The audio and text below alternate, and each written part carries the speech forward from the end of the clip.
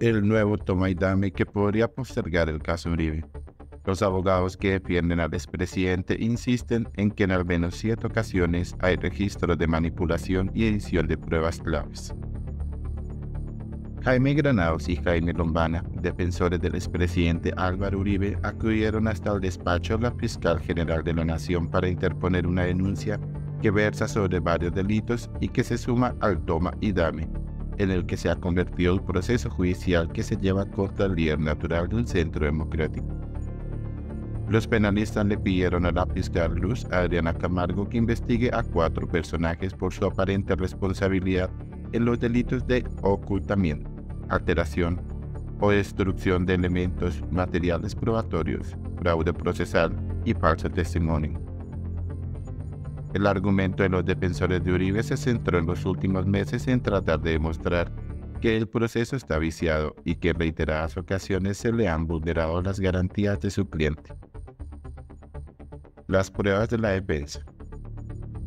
El pasado 17 de octubre, durante la audiencia de preparación del juicio contra Uribe Vélez, Granados denunció la pérdida de miles de archivos que serían claves en el proceso que se lleva contra el expresidente por fraude procesal y soborno a testigos.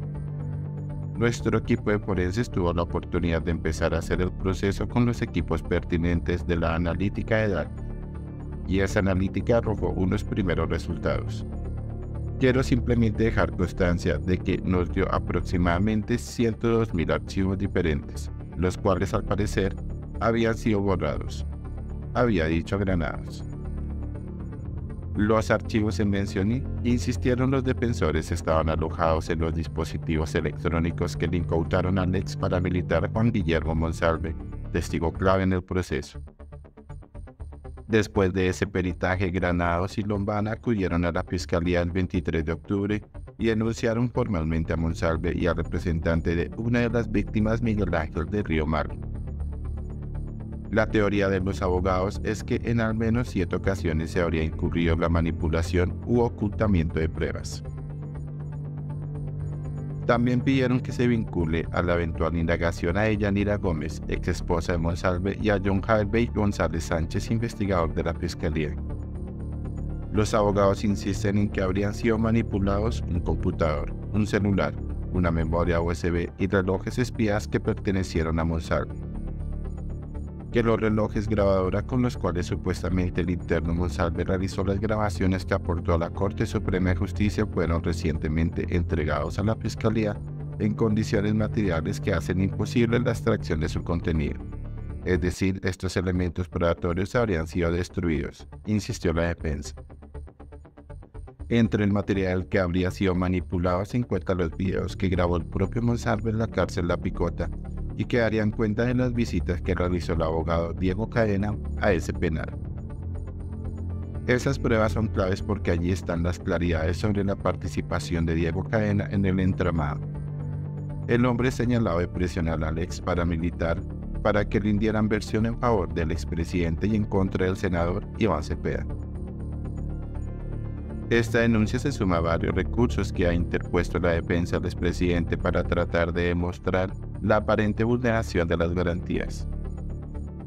Granados y Lombana ya intentaron tumbar todo el proceso bajo el argumento de falta de garantías, pero el Tribunal Superior de Bogotá, en una decisión de segunda instancia, le dijo no a esa solicitud el pasado 27 de agosto.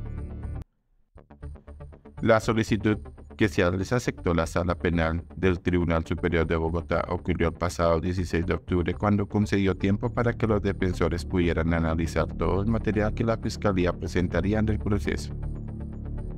Resulta desproporcionado impedirle al accionante que analice y valore que, de lo que obtuvo, le sirve para su estrategia defensiva, pues ello materializa el derecho al debido proceso, dijo el tribunal en el fallo de tutela.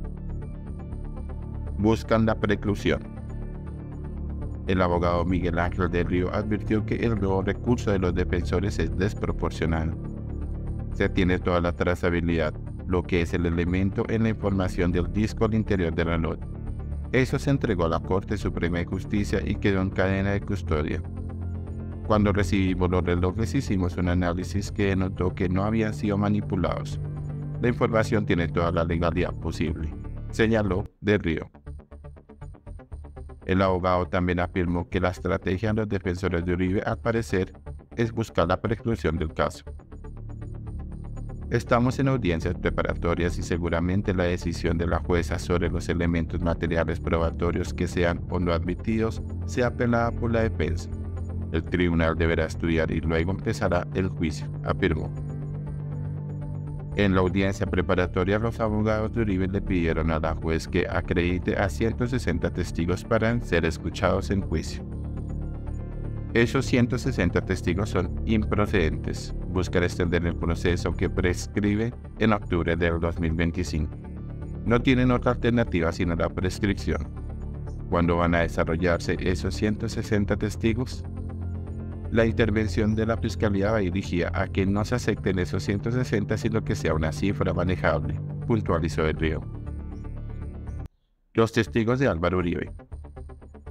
Jaime Granados, abogado del expresidente, le pidió a la juez que escuche a 160 testigos y peritos.